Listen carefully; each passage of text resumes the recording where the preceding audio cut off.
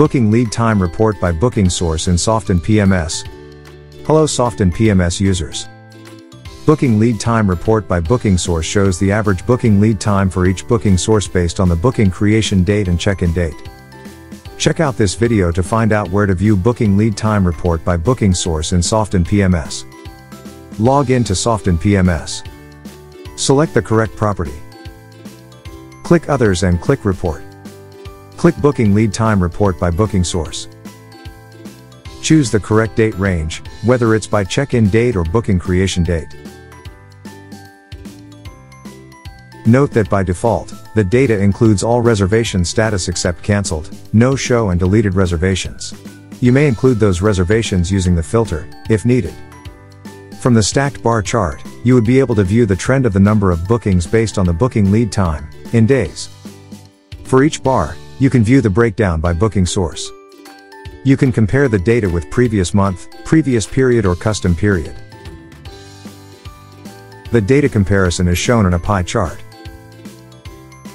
The report provides a table that shows the total reservations for each booking source based on the booking lead time. Average booking lead time for each booking source.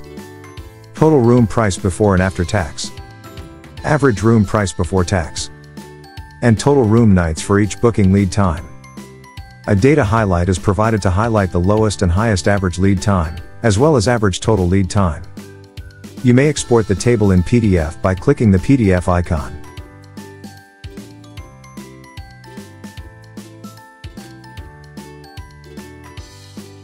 Note.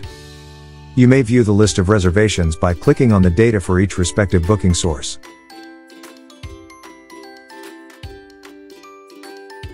There are links that can redirect you to Booking Lead Time Report by room type and Booking Lead Time Report by nationality.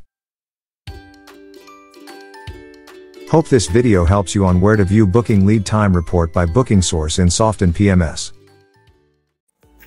Hi guys, thank you for watching the video. My name is Aifa, Business Management Executive in Business Department. The role in Softinn is to assist business operation. If you enjoyed this video, please click like button and subscribe to our channel below. Thank you!